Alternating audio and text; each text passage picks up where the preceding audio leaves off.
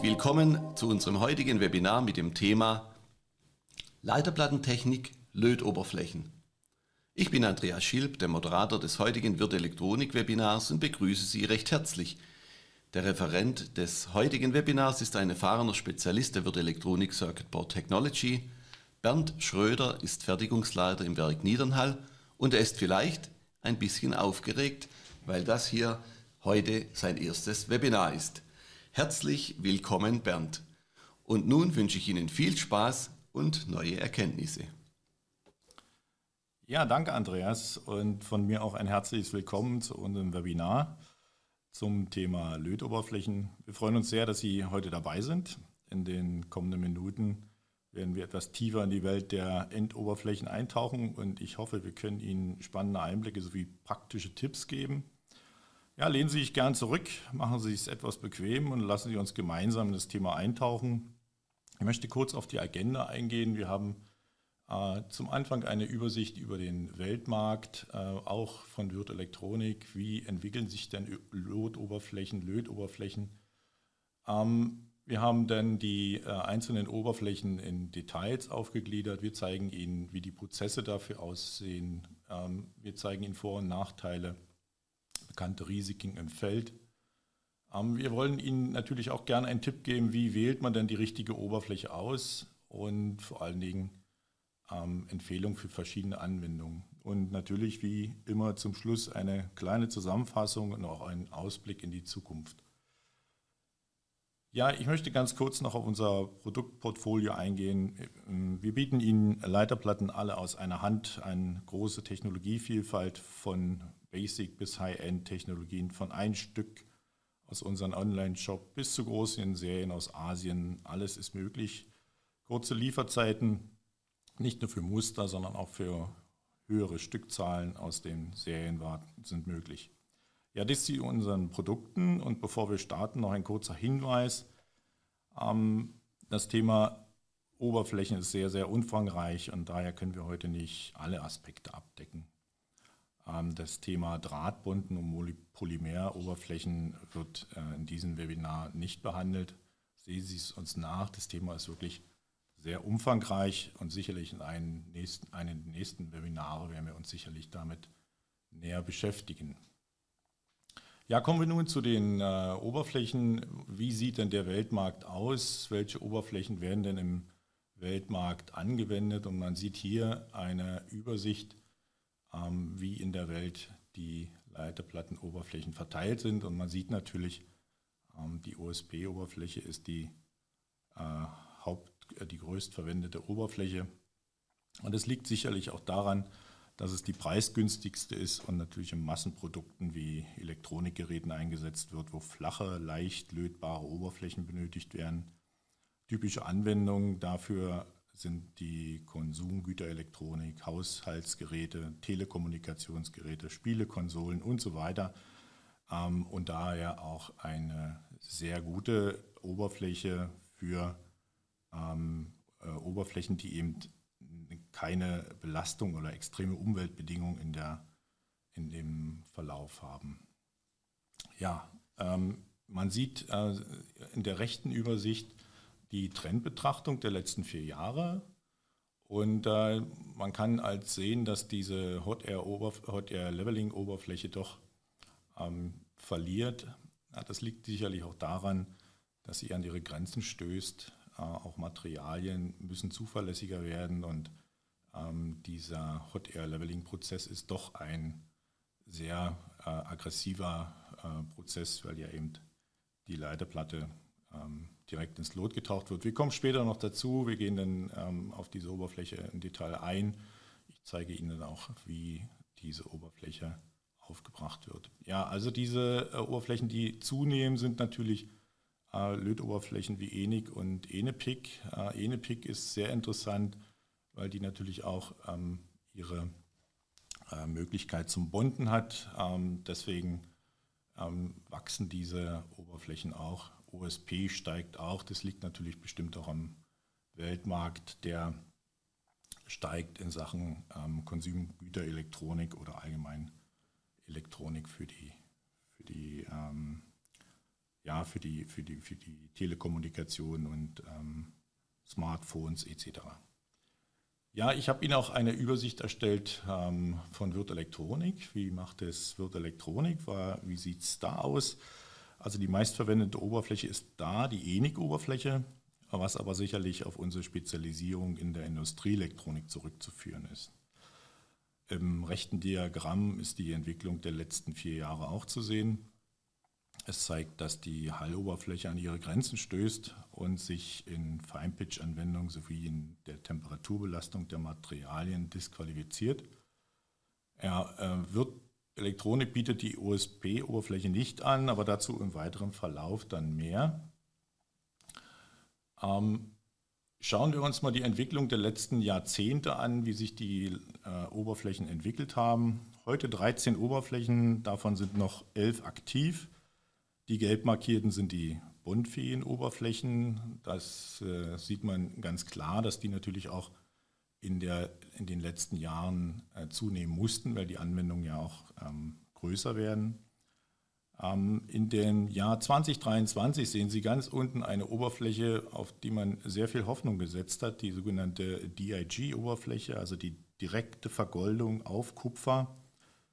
Diese hat sich leider nicht durchsetzen können, ähm, weil natürlich ähm, da eine dickere Goldschicht angewendet wird, bis 300 Mikrometer und ähm, wenn wir uns später noch die Goldpreise anschauen, dann weiß man auch genau, dass die Oberfläche sehr, sehr gut ist. Sie hat die Möglichkeit zum Bonden, aber eben halt ähm, wir das Problem haben, dass die Kosten die Oberfläche leider nicht für die Zukunft oder für die, ähm, ja, für als generelle äh, High-End-Oberfläche zur Verfügung stehen kann. Einfach aus den Kostengründen.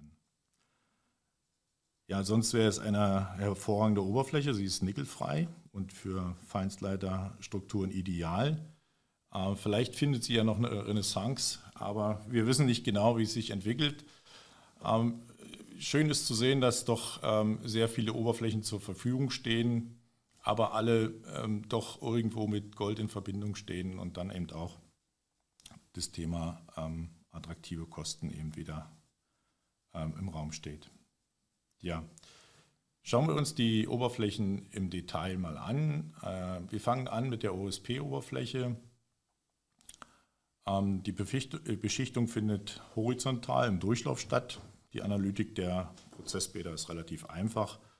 Die Abwasserentsorgung ähm, ist auch relativ einfach, aber man benötigt natürlich eine spezielle Abwasseranlage.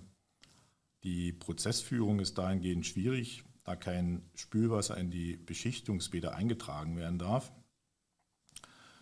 Ähm, die Prozesskosten sowie die Beschichtungskosten allen, von allen Oberflächen ist die, die günstigste Variante und die Umwelteinflüsse sind geringer als bei allen anderen äh, Oberflächen.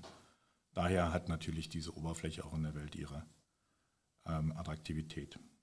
Sie sehen rechts eine Übersicht der einzelnen Anwendungen farblich markiert. Rot bedeutet ungeeignet, Gelb bedeutet, die Anwendung hat dort ihre Grenzen und Grün, es liegen zuverlässige Erfahrungen vor. Also somit ähm, sind die grünen Felder für die Anwendung ideal. Sie sehen äh, auch die Details, äh, die schichtigen ähm, sind spezifiziert, ähm, je nachdem äh, kundenspezifiziert, deswegen steht da 01 bis 06. Ähm, aber die Lagerfähigkeit ist natürlich auch für die OSP-Oberfläche ähm, leider nur begrenzt auf sechs Monate. Und ähm, wenn man natürlich ganz unten schaut nach Nachteile, dann hat man das Problem, dass diese Oberfläche eben eine begrenzte Anzahl von Temperaturschritten hat und somit eben für Mehrfachlöten ungeeignet ist. deswegen sprach ich eingehend, Industrieelektronik ist die OSP-Oberfläche ungeeignet, weil eben auch teilweise dann Durchsteiger ungeschützt ähm, im weiteren Verlauf ähm, ins Feld kommen und ähm, somit Kupfer frei liegt und das ist ungünstig für die Korrosion. Wir würden dann zur nächsten Oberfläche springen, das wäre die ENIC-Oberfläche, die ja ähm, hier bei uns bei Wirt Elektronik die meistverwendete Oberfläche ist. Und ähm, auch da nochmal ins Detail gegangen, wie findet die Beschichtung statt, ähm, sie findet vertikal statt. Das liegt an den langen Behandlungszeiten von Nickel und Gold. Alleine die Zeit für das Vernickeln beträgt, bei, äh, beträgt ungefähr 23 Minuten und das Vergolden 11 Minuten. Und der gesamte Prozess benötigt ungefähr zwei bis zweieinhalb Stunden. Ähm, der Nickel-Gold-Prozess ist technisch sehr, sehr anspruchsvoll und umfasst äh, mehrere chemische Schritte. Zunächst für die autokatalytische Nickelabscheidung und dann für das Gold. Ähm, jede Phase muss wirklich sorgfältig abgestimmt werden, um die gewünschten Schichtdicken zu erreichen. Ja, wir äh, würden dann mal Ihnen eine Übersicht geben. Ähm, so sieht die Goldanlage links bei Wirt Elektronik in Niedernhall aus. Eine der Goldanlagen von Wirt Elektronik. Rechts sieht man, wie in den einzelnen Leiterplatten ins Gestell eingesetzt werden müssen. Und äh, im Video ist, ähm, ich hoffe, die Übertragung ist gut zu sehen. Im Video sieht man jetzt hier das Nickelbad und man kann äh, sehen, wie das Nickel äh, sich chemisch abscheidet. Ähm, das, was da so blubbert, ist die Wasserstoffabscheidung. Und somit werden in diesem Bad 5 Mikrometer Nickel abgeschieden oder 3 bis 6 Mikrometer Nickel.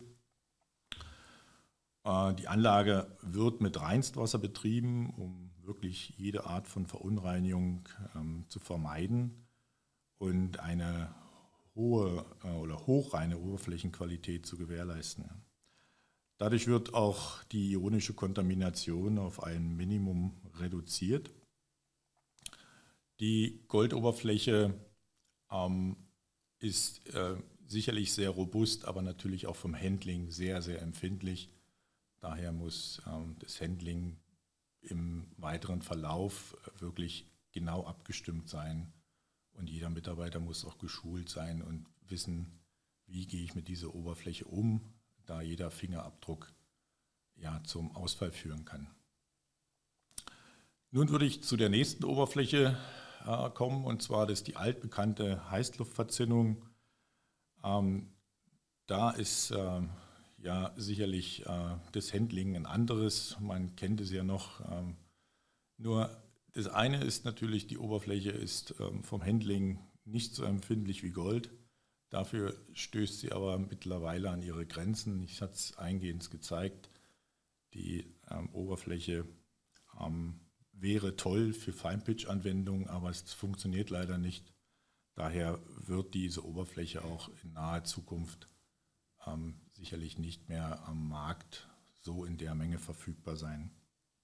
Ja, die Leiterplatte wird ähm, in heißes Lot getaucht. Wir sehen es gleich. Ich habe ein kurzes Video mitgebracht und danach dann mit 400 Grad heißer Luft abgeblasen. Ähm, generell Vorteil dieser Oberfläche, sie ist ähm, bewährt und auch relativ günstig. Sie hat äh, lange Lagerfähigkeit und man hat natürlich auch ein Lotdepot auf dem Pad, ähm, was eben schon mal, wie sagt man immer, vorgelötet ist, ist äh, eine gute Oberfläche. Ne? Ja, der, der Nachteil natürlich des Stress fürs Material. Wir haben äh, diese Thematik immer mit den unebenen Oberflächen. Das heißt, Bauelemente werden fehlplatziert, und natürlich diese Thematik mit den Fine-Pitch-Anwendungen. Ähm, später dazu noch etwas mehr. Ja, hier sieht man nochmal ähm, typische Heißluftverzinnungsoberfläche mit ihren unterschiedlichen Schichtdicken auf den Pads, ähm, was bedingt ist durch diese Luftabblasung. Ähm, Sie sehen jetzt hier rechts eine äh, Verzinnungsanlage die Leiterplatte wird vorher vorgereinigt. Kupfer muss hoch rein sein, um verzinnt zu werden. Ähm, die Platte wird jetzt äh, in heißes Lot eingetaucht. Wir sehen es gleich von der Seite. Sie ist jetzt schon eingetaucht unten und gleichzeitig beim Herausziehen wird jetzt links und rechts sind Luftmesser mit dem Teißer Luft nochmal das Lot abgeblasen wird. Dadurch kommt es zu Verwirbelungen und das führt auch dazu, dass man dann auf der Oberfläche immer diese unterschiedlichen Schichtigen hat oder diese Anhäufung. Danach ist die äh, Leiterplatte natürlich ähm, mindestens mal 300 Grad heiß, muss abgekühlt werden und ähm, muss natürlich auch gereinigt werden. Ähm, das fällt auch relativ schwer, weil natürlich auch Fluxmittel sich auf der Oberfläche befinden. Und diese müssen ja äh, sauber ähm, gereinigt werden. Das Thema der, des Kupferabtrags möchte ich kurz noch erwähnen. Ähm, bei dem Lötprozess findet natürlich auch eine Rücklösung von Kupfer statt, die man vorher auch vorhalten muss. Also wir müssen vorher, bevor wir ähm, Heißluft verzinnen, müssen wir wissen, dass wir da einen Abtrag haben von Kupfer, was bis zu 6, 7 Mikrometer sein kann in, in der Hülse. Und in diesen Kupferabtrag, den muss man natürlich vorher ähm, dazugeben, beziehungsweise muss vorher bedenken, muss mehr Kupfer abtragen, dass ich Heißluft verzinnen kann. Das ist sicherlich auch ein Nachteil, weil die Kupferabscheidung ja auch sehr teuer ist. Kommen wir zur nächsten Oberfläche, das wäre die chemisch-Zinn-Oberfläche, auch eine sehr begehrte Oberfläche. Die Standardschichtige liegt um ein Mikrometer. Ähm, Einsatzgebiete Löten, Einpresstechnik, ähm, Fine-Pitch-Anwendung möglich und BGAs.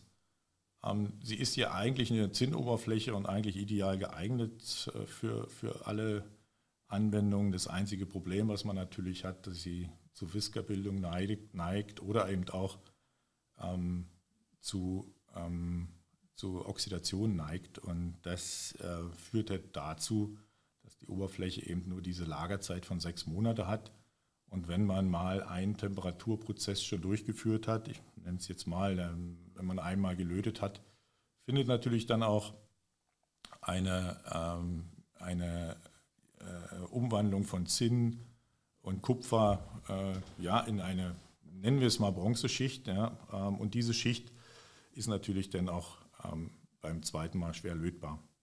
Daher ähm, chemisch Zinn ist eine gute, zuverlässige Oberfläche, ähm, aber eben halt für Mehrfachlöten sollte man sie nicht unbedingt einsetzen. Es kommt immer darauf an, wie oft man lötet. Ähm, ich denke, ähm, da sind die Erfahrungen ja auch da im Markt.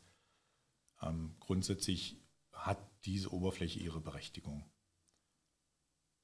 Ich zeige Ihnen noch ganz kurz hier, wie die ähm, Beschichtung stattfindet. Sie findet generell, also sie kann generell hoch, äh, äh, horizontal stattfinden, aber auch vertikal.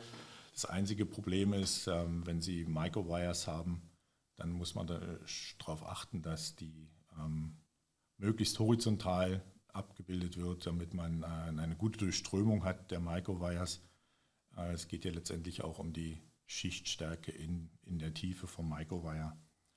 Deswegen ähm, ähm, ist das vertikale Verfahren da ungeeignet. Rechts sehen wir mal so eine Anlage, ähm, die relativ lang ist für die Verzinnung. Ähm, die steht in der Schweiz bei der Firma Hofstetter. Und ähm, ähnliche Anlagen haben Längen um die 30, 40 Meter und sind natürlich sehr kostenintensiv im Unterhalt.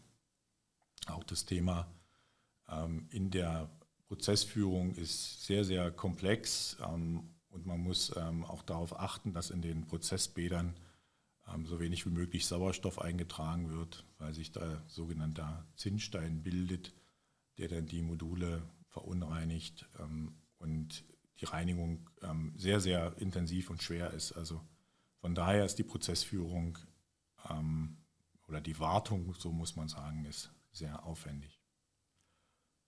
Ja, und eine der Oberflächen, ähm, die sehr interessant ist auch, ähm, ist die chemisch-silber-Oberfläche.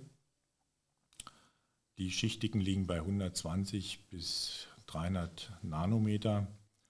Die Lagerfähigkeit zwölf Monate. Ich habe da mal drei Sternchen hingemacht. Natürlich ist die Lagerfähigkeit ähm, im, in der offenen Atmosphäre schwierig bei Silber.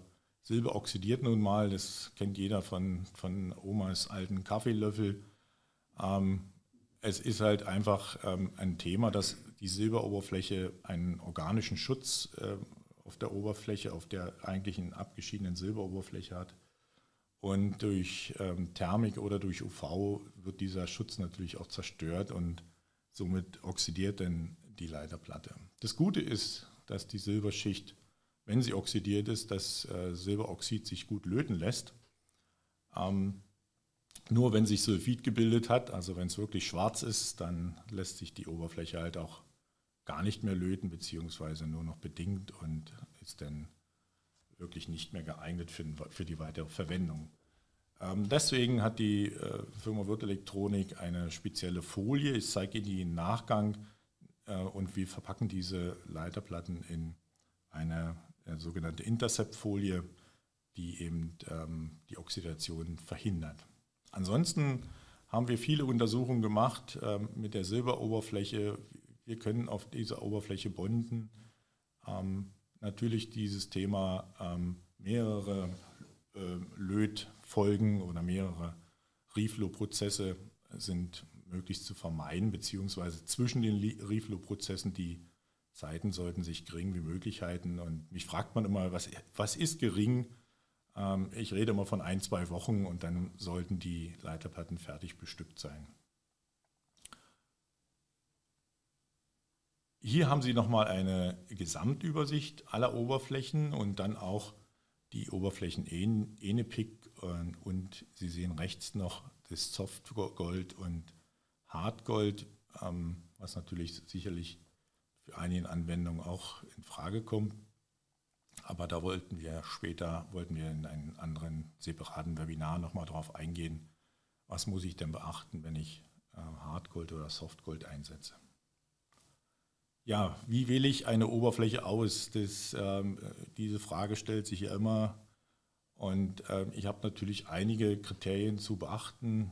Ähm, ich muss gucken, Kosten, Umweltverträglichkeit. Ich muss schauen, wie sieht das Layout aus, welche Bauelemente verwende ich. Thema Zuverlässigkeit ist natürlich ein wichtiges Thema. Und die Frage stellt sich ja immer, gibt es die universale Lotoberfläche? Leider gibt es sie nicht, aber man kann sich für eine Anwendung einige Fragen stellen, welche bei der Auswahl hilft. Und die haben wir Ihnen hier mal zusammengefasst. Und ähm, das sind so die wichtigsten Fragen, die ich mir stellen muss, bevor ich ähm, mich für eine Lötoberfläche entscheide. Und ich möchte die auch gar nicht einzeln im Detail durchgehen. Ähm, sie ähm, soll sicherlich erstmal helfen, um sich grundsätzlich Gedanken zu machen, was äh, für Anforderungen habe ich an dieser Oberfläche, was für Techniken wende ich an und habe dann erstmal eine grobe Übersicht und kann dann vielleicht über eine Schnellauswahl hier mal entscheiden, ähm, welche Oberfläche geeignet ist. Eingehend hatte ich gesagt, die ähm, gelb markierten sind die buntbaren Oberflächen, ähm, sofern sie die Anwendung haben. Ja, eins möchte ich noch vielleicht erwähnen. Äh, hier steht immer der Unterschied zwischen ähm, zwischen ENIC erste Generation und zweite Generation. Also die erste Generation von ENIC war sicherlich noch einigen bekannt, ähm, dieses ganze Thema Blackpad. Ähm, man hat dann sehr schnell oder relativ schnell erkannt, ähm, wo der Fehler zu finden ist und hat dann ähm, die zweite Generation von, den, von der ENIC-Oberfläche ähm, vermarktet und die hat sicherlich dieses Problem nicht mehr. Uns ist es nicht mehr bekannt, äh, dieses Blackpad-Thema. Und von daher hat sich die Oberfläche auch gut entwickelt. Kommen wir jetzt äh, zu den bekannten Risiken im Feld. Wir haben Ihnen hier mal einige zusammengefasst. Und ähm, bei der Heißluftverzinnungsoberfläche kennt sicherlich einer oder andere, hat es schon mal erlebt, diesen Yellow-Effekt, der sicherlich jetzt äh, nicht zum, zum, zum ähm, Lötfehler führt, aber zumindest erstmal in der Anlieferung stellt man sich die Frage, warum ist dann die Oberfläche jetzt gelb, da ist doch irgendwas anders. Ähm, diese Effekte sind bekannt. Ähm, oftmals stören sie aus optischer Natur. Ähm, lötbar sind sie ähm, wir haben sehr oft diese Thematiken äh, früher gehabt in der Anfangsphase, wo die Lote noch etwas anders waren. Aber man sieht auch diese Yellow-Effekte, wenn die Flächen, Lotflächen ziemlich groß sind, dann fällt es halt auf. Aber lötbar sind diese. Es ist eine ganz hauchdünne Angstrom-Schicht auf der Oberfläche, die bedingt ist ähm, ähm, von, der, von, der, von dem Lot selber. Ähm, und daher kommt diese Gelbfärbung. Ja, die anderen Themen sind bekannt. Ja. Ähm, Zinnberge natürlich, das ist so das größte Thema. Oder eben auch ähm, Bohrungen, die nicht freigeblasen sind zu 100 Prozent und es gibt Anhäufung in der Bohrungsmitte. Das sind so die Hauptthemen bei, der, bei dem Heißluftverzerrungsprozess. Chemisch Zinn ist ähm, das Kernthema natürlich die Whiskerbildung. Die Whiskerbildung ähm, ist im Prinzip eine mechanische Ausdehnung ähm, oder eine mechanische, aus, ja, mechanische Ausdehnung, muss man sagen. Ähm, ähm, da wirken Kräfte und es wachsen eben ähm, Zinn, äh, feine Zinn, äh, äh, wie so Stalaktiten, ja, schwer zu sagen, aber sie wachsen und ähm, können zu Kurzschlüssen führen und das ist natürlich dann ähm, sehr schwierig, weil es ähm, ohne Einfluss von äh, Strom oder Ähnlichem ähm, stattfindet. Das heißt, es kann im Lager stattfinden und natürlich kann dann da kann dann äh, ja, kann es da zu, zu Riesenproblemen geben in der, in der, im späteren Verlauf. Mausbites, ähm, der Begriff vielleicht bekannt, es sieht aus, als wenn Kupfer sich zurücklöst, ähm, wie so als wenn jemand ein Kupfer, Kupferstück rausgebissen hat, äh, ist auch ein Riesenthema gewesen in der Vergangenheit, hat ähm, im Ursprung eigentlich mit der Lötstoppmaske zu tun und ähm, findet man immer wieder im Markt das Thema. Aber man kann das natürlich vermeiden in der, in, in der Prozessführung vom Lötstofplack und von, auch von der Verzinnung. Bei der chemisch-Silberoberfläche haben wir das Thema Creep Corrosion ähm, und Oxidation. Ja, äh, es ist halt so, äh, auch wieder da das Thema Codeschluss. Ähm, man findet halt wirklich zwischen den Pads kann das passieren, dass die ähm, Silberschicht wandert und irgendwann dann zum Codeschluss führt. Ähm, und Oxidation hatte ich ja eingehend erwähnt. Also jede Oberfläche wollten wir eigentlich bloß aufzeigen, hat ihre Probleme. Und auch wenn wir weitergehen, auch chemisch Nickel-Gold, das bekannte Fehlerbild Blackpad oder ein negatives Bondergebnis, kennt man sicherlich auch. Und Missing Pad ist auch so ein Thema, dass einzelne Pads einfach nicht vergoldet werden, ähm, teilweise auch ähm, elektrolytisch oder elektrochemisch äh, Natur. Und äh, das Thema Nickelkorrosion ähm, gehört ja zum Blackpad dazu, ist hier nochmal extra benannt. Bei der OSP-Beschichtung sind es eigentlich hauptsächlich diese Mehrfachlötungen, die zu Problemen führen und mechanische Beschädigungen. Die Schicht ist ja äh, hauchdünn und ähm, somit ist natürlich das Handling immer, immer äh, sehr wichtig für die für die Bestückung bzw. fürs Handling allgemein der, im Lager. Ja, hier rechts nochmal aufgeführt, das Hard- und Softgold. Und da sind es auch natürlich ähm, Lötprobleme bei dickeren Schichten sowieso ungeeignet, dass man auf dicke Schichten lötet. Aber wir haben sie halt ähm, hier nochmal ähm, dargestellt, weil es ja doch einige Anwendungen gibt, wo man auf Hart- oder Dickgold lötet. Ja, was bedeutet das Löten für die, für die Leiterplatte? Wie beeinflusst der Trocknungsprozess die Oberflächen? Grundsätzlich kann man sagen, wenn man lötet, ist es erstmal Stress für die Leiterplatte. Ja, warum? Alle Materialien dehnen sich unterschiedlich aus und wirken aufeinander. Es gibt Scherspannung, Feuchtigkeit will entweichen, Gefüge verändern sich. Also da findet ein großer, großer Stress statt. Daher empfehlen wir natürlich immer, ähm, dass wir vor dem Lötprozess ausreichend trocknen. Ähm, das ähm, ist natürlich immer schwierig, wie macht man es? Und deswegen haben wir uns vor einigen Jahren das Thema angenommen und haben ein äh, Letter entwickelt, wo man genau sehen kann, wie man trocknen muss und wie die Folge ist. sehr gut, ich kann sie nur empfehlen. Ich habe im weiteren Verlauf den Link eingefügt, den Sie sich dann auch sicherlich auf unserer Website anschauen können. Ja, ähm, wenn man alleine sieht, dass die Wasseraufnahme für eine normale Leiterplatte in 24 Stunden bei 3% liegt, dann ist es schon beachtlich und ähm, man kann sich vorstellen, was passiert, wenn man dann in 240 Grad heißen Lot oder beziehungsweise ein Reflow geht, ähm, dann kann es natürlich zu förmlich zu Explosionen kommen und deswegen ist das Trocknen sehr, sehr wichtig. Wir haben hier ähm, einen Auszug. Unten sehen Sie den Link, den Sie dann gerne folgen dürfen. Und ähm, natürlich werden auch einige Themen behandelt, die sehr wichtig sind, einfach wie ähm, der Feuchtegehalt, wie, wie das Gleichgewicht überhaupt entsteht in der Leiterplatte.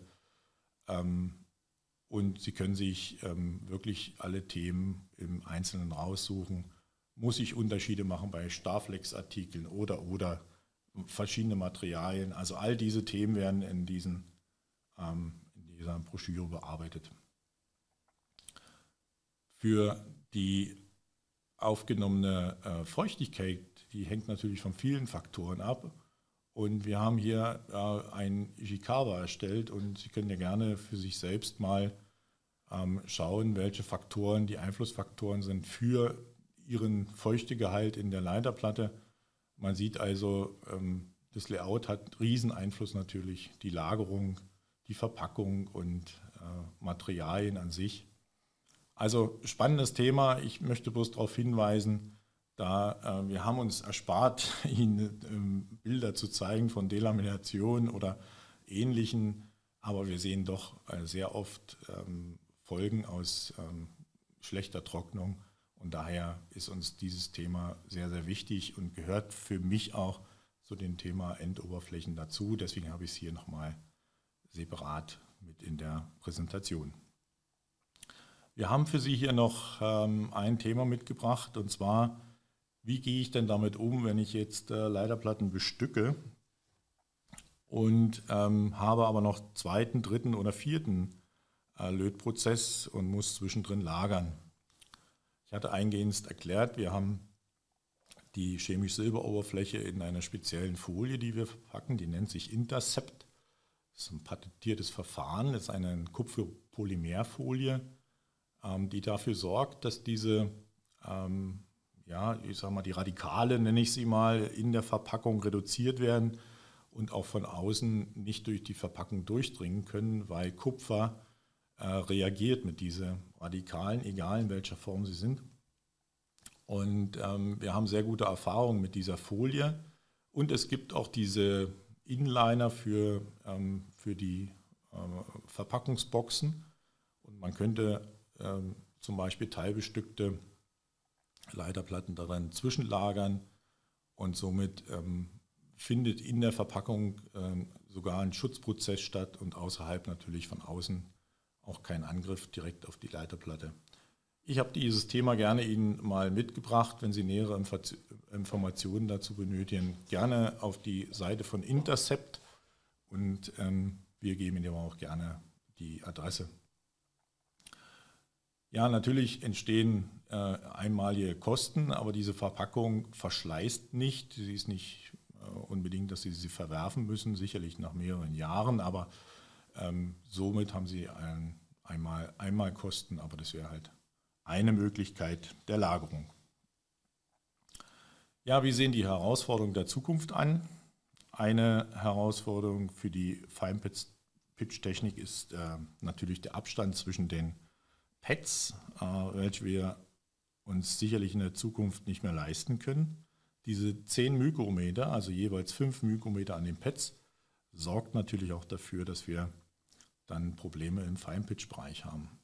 Somit gehen wir davon aus, dass die Nickel-Oberfläche sich in, in, den nächsten Jahren ähm, aus diesem Problem disqualifizieren werden.